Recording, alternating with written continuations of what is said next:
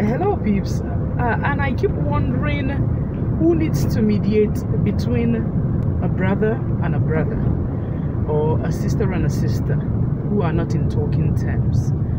I keep wondering about this because I I just can't imagine not talking to someone that is my sister or my brother in weeks, in months, in years. And I pride myself in being okay. No way. That's not happening. But I see some family being very okay with not talking to themselves. And I also begin to wonder who is to mediate amongst these brethren? If the family can't, can't the umuna? I, I am wondering because sometimes they say nobody interferes in matters concerning marriages. But sometimes, again, the umuna mediate if the complaint becomes uh, very much. And why don't they even try to mediate amidst brothers?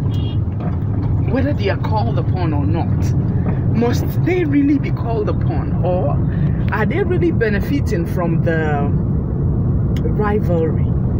Sort of. If they can actually come together to share a whole land, which is indeed a bigger problem, a bigger picture, what is so big that they come together to mediate amongst a family who are not in good terms with themselves. I think that's what I'm trying to look at this afternoon. Stay tuned, join the conversation at Solid 109 at Ijele Solid so that we can talk. If you're on the social media, you can see us on YouTube Christiana Ozioma. If you are on uh, Instagram, Twitter, Facebook, click the page, like, uh, uh, look for Atijele Solid, like the page, and join the conversation. Seriously, seriously, this needs to be looked into because the children may rightly be thinking that their parents should at least call them to know what the problem is. Why the, the, the children that they bore are not in talking terms. And then sometimes I see the parents benefiting from both angles of not uh, uh, wanting the two children to even be talking to themselves.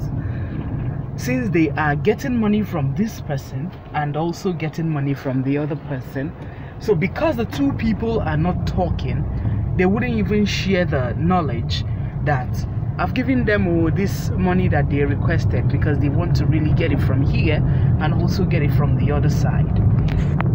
Who is enjoying this bitterness? Who is enjoying the rivalry? That's also what I need to look at. Uh, they say another is it true? Does he also include family? Nze, how will they enjoy rivalry in a family? If it were rivalry amongst community or various omuna, I think uh, they can enjoy, but not definitely rivalry in, in inside a family. So, who needs to settle the rivalry inside a family? That's the basic question again for today's topic. Stay tuned.